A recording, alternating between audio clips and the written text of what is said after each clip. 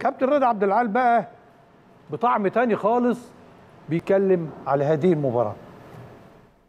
وشك حلو وألف مبروك للنادي الأهلي وجماهيره ولاعيبه الأهلي ما تخافش عليها في المواقف الصعبة دي.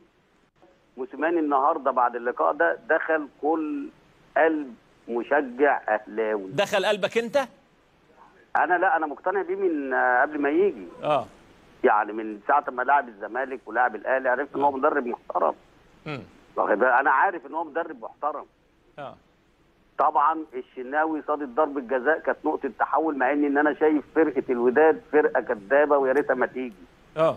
يعني هم لو بيفكروا صح ما يجوش المباراة الثانية ليه؟ ليه؟ مش عايزين مش عايزين نفنش المباراة. يعني المباراه الكرة فيها كل حاجة.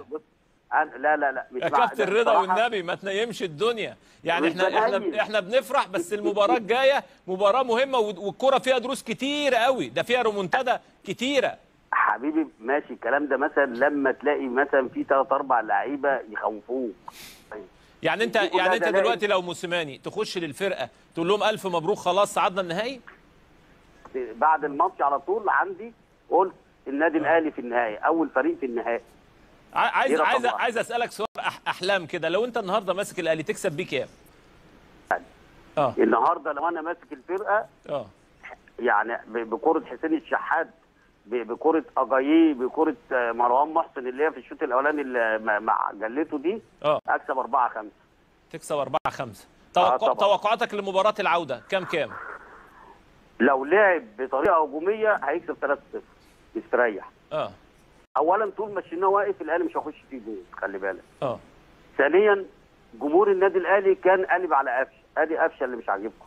امم عمل يعني مباراة كبيرة النهارده الحقيقة. والماتش اللي فات عامل مباراة كبيرة. آه. هي بس ضربة الجزاء اللي ضيعها ادت للناس انطباع إن هو كان وحش